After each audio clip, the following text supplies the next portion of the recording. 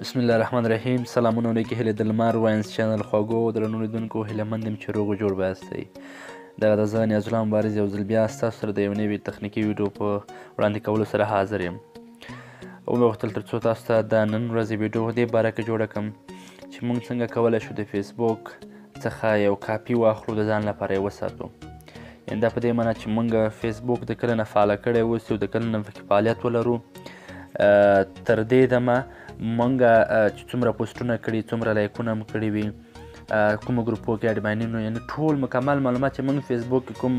فعالیتونه کړي هغه ټول کولی شو ځان لپاره یو کاپي واخلو او دا ډیر ضروره هم ده ځکه کله کله د سړی آیډي هک کیږي بلاک کیږي له منځه ځي نو د دې په خاطر ښه ده چې تاسو ځان سره یو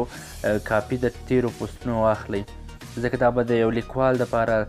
دغه چا لپاره چې لیکنې کوي فیسبوک کې خپروي د ځان لپاره خاص کاپیان نه لري په په کمپیوټر کې یا نور او راسن د فیسبوک کې لیک کې او پوسټ کوي د لپاره دا ډیره مهمه ده ترڅو د د فیسبوک څخه پخوانی پوسټونه د اول نه تر اخره پر ټول پوسټونه دی څنګه کی کاپی ځان لپاره واخلي ډیر اسان طریقه ده مخکې در دې زه باید فیسبوک خلاص کم ښه فیسبوک مو چې کله خلاص که زو په دې ځای دا بټن وهو یعنی کوم چې مکمل معلومات او سیټینګ او تنظیمات دی پکې د هغې نه وروسته دې لاندې ته وراشئ دلته به وایي چې سیټینګ ان پرایوسي په دې باندې کلیک کوم وروسته تر هغې سیټینګ باندې دا اول کوم چې ده سیټینګ نه وروسته دلته اوس زه باید پکې انفارمیشن ډاونلوډ انتخاب کړم ښه دا د صفحه خلاصه کړه تاسو به نو لاندې راشئ لاندې به راشئ دا ډاونلوډ یور انفارمیشن وای هغه خپل معلومات یا هغه خپل پوسټونه هغه ټول ډاونلوډ کړئ ځان لپاره دلته نوشته کړي ډاونلوډ ا کاپي اف یور انفارمیشن ټو کیپ فور ټرانسفر ټو انادر سرویس وای د فیسبوک د خپلو معلوماتو یو کاپی هم ځان لپاره واخلئ د هغې لپاره چې بل سایټ ته لېږئ یا د ځان سره ساتئ نو زه هم دغه ډاونلوډ یور انفرمیشن باندې کلیک کوم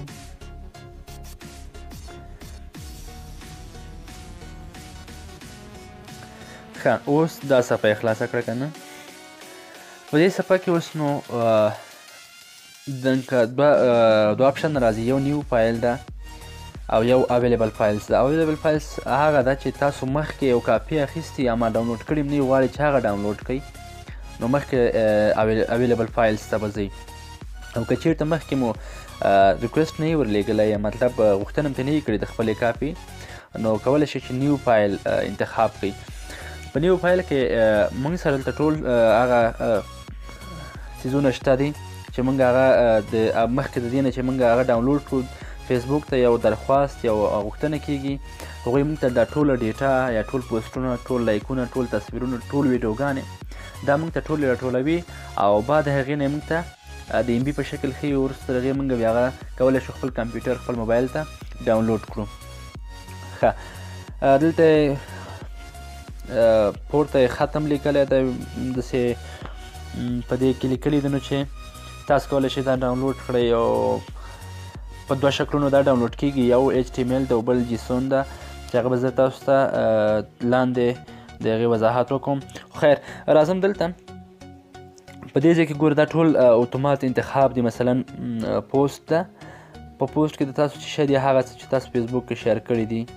په ټایم لاین یا دغه مخپاڼه باندې شیر کړی دی لاندې ګورئ فوټوز اینډ ویډیوز دریم کمنټس لایک اینډ ریاکشن دلته مکمل څه چې فیسبوک کې تاسو کړی دی او څه چې په فیسبوک کې موجود دی هغه ټولو لیست دلته شته ده دا چې تاسو څه شی غواړئ تنه مثلا لیکنې مو غواړئ تنه عکسونه ویډیو غواړي کمنټونه غواړي چې چیرته تاسو کمنټونه کړی دي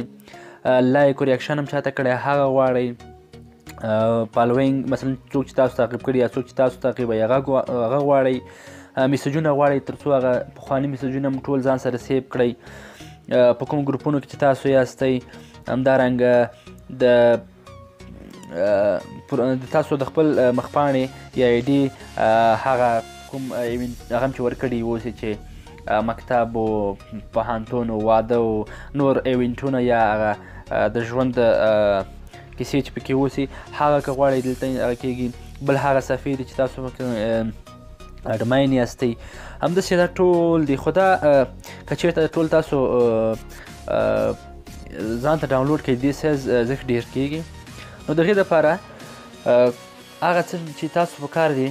هماغه انتخاب کړئ زه مثلا ټول ډسلایک کوم د ځان لپاره زه غواړم ماته دې لیکنې عکسونه او ویډیوګانې کمنټ مې هم نه دی پکار لایک مې هم نه دی پکار میسج مې هم نه دی پکار که چېرته هم پکار و تاسو کولی شئ میسج انتخاب کړئ ښه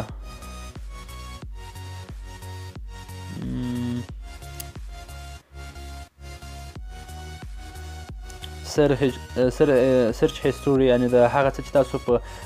سرچ کړي اوس هغه هم کولی شئ دلته ټول بیرته راغه کوي چاته هم زنګونه وهلي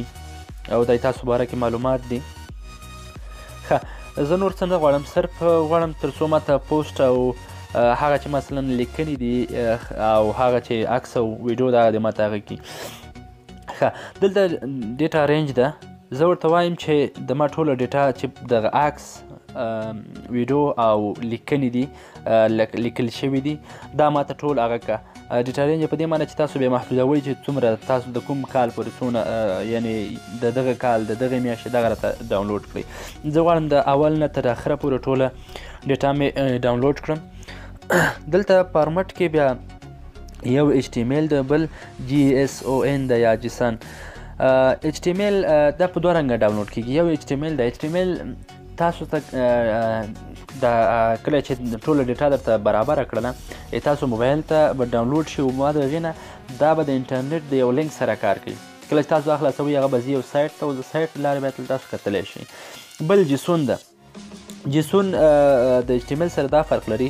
عینا د یوه کاپي ده په سایز کې کوم فرق نه لري صرف جیسون دا ده چې آفلاین کار کوي او ایچ ټي ایم ایل چې دا آنلاین کار کوي جیسون کولی شي تاسو بیا موبایل خپله د دې وړتیا نه لري چې جیسون فایل خلاص کړي د هغې لپاره بیا مثلا ځئ ګوګل پلی سټور ته ځئ په پلی سټور کې مثلا دلته ښه دلته ما مخکې هم تیار سرچ کړی و خو ګوګل درته یو بل هغه درکوي چې هغه د جیسون دلته جیسون په نوم په هغه کې زښت ډیر دي خو تاسو به هغه جیسون پیدا کوي کوم چې دا فایل سره په اسانۍ خلاصیږي دغه ده جیسون جینی جی څه غلط مې کوم جی نی ایډیټور صحیح ده دغه زه وهم ما ما سره دا تیار انسټال شوی ده مخکې ما انسټال کړی ده نو تاسو کولی شئ د سر نه دا انسټال کړئ تقریبا درې نیم ایم بي ده نو هغه د جیسون فایل د دغې لارې بیا خلاصیږي نو د ما په نظر د هغه به ښه اوسي جیسون خو زه ځان ته په اجتمل ځکه کوم چې دا به یو څه روښانه ده د دې خوبي دا ده چې هر فایل درته په فولډر په شکل جوړوي او نور چې دی هغه نو بیا په شمیروار نه ویډیو پکې انالایز کیږي نه پکې فوټو ټول مسلسل څه دي چې کړي هغه ټول درته په ترتیب سره راولي ښه میډیا کوالټي د په دې معنی چې هغه عکس یا ویډیو چې تاسو په کومه کیفیت کې غواړئ های لیول هغه لیول چې تاسو په کوم کې پورته کړي په هماغه کې بیرته درته ښکته کوي او میډیم یې تقریبا د هغې نه نسبتا یو څه ښکته اما سایز به یې وړکی وي لوی چې ده نو بیا د تصویر یا ویډیو کیفیت هم خرابېږي او سایز یې مړکی کېږي زه یې های غواړم تر څو ماته په های لیول کې دا کاپي راکړي نو دلته کریټ فایل وایم کریټ فایل ذاتي بس خلاص شو نور زه کریټ فایل ورته وهم زما غوښتنه اوس فیسبوک کمیټې ته لیږل کیږي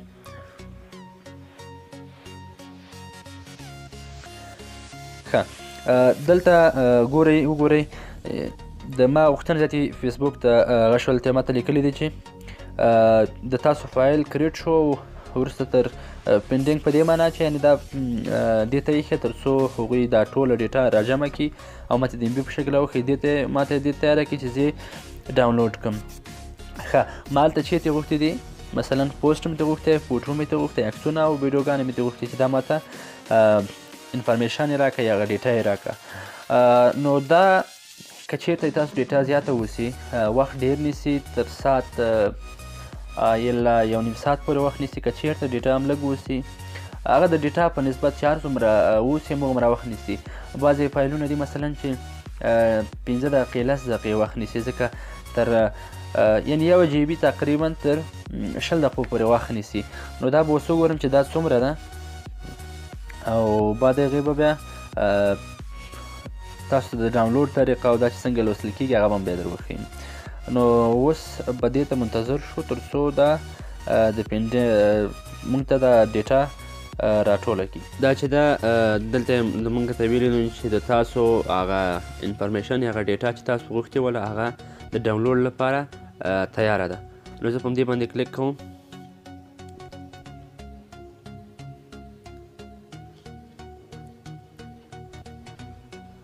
ښه دغه ده نو ما چې کوم څه چې غوښتي وو هغه پوسټونه وو عکسونه او سره د ویډیوګانو ټول دلته ایم بي په شکل نوشته ده پنځه سوه دوه ایم بي ده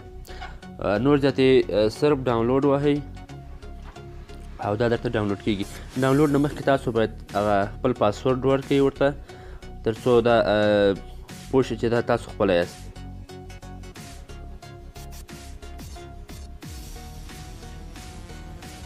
ښه دا کله چې ډاونلوډ کیږي دا د زیپ فایل په ډول ډاونلوډ کیږي زیپ هغه فایل دی چې د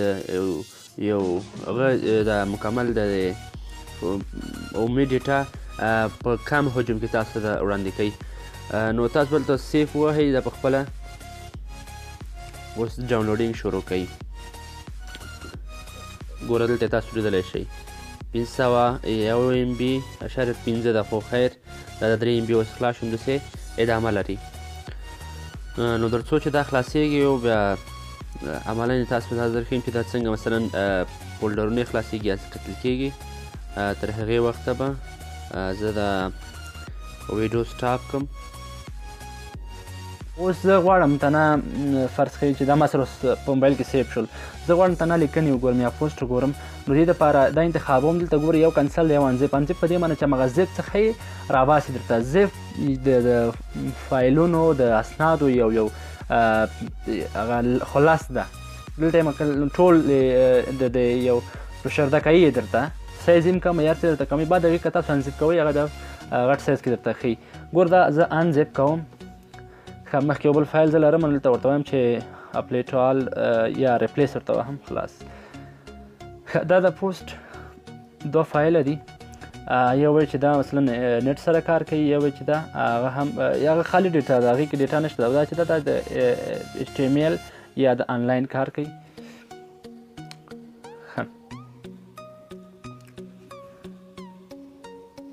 دا مخکې ما کتلی دی او ځکه اخلاص که کنی دا بیا سه کار نه کوي ته دلته اوس تاسو وګورئ دلته ټول هغه پوسټونه چې ما کړي دي چا چې کمنټونه ورکړي کمنټونه هم راغلي ته د وخته پورې له زه څونه مثلا لاندې ښکته ځم همغومره د پخواني پوسټونه ما دلته ښیي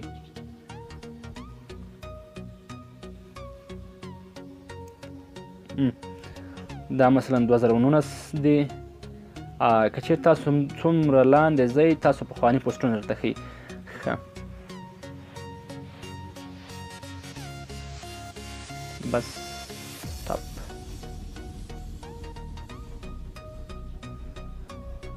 دا 2014 ته لاړه دا زرو شپاړس پوسټ نن ماته وښوده غوسه د شیطان له خوا وي نو باید تل صبر او حوصله ولرو ښه دا پوسټ چې مثلا ما په 2014 کې کړی ده دې نه ښکته لاړ شي نور مثلا مثل د دې نه پخواني درته ښیي مثلا 2015 ده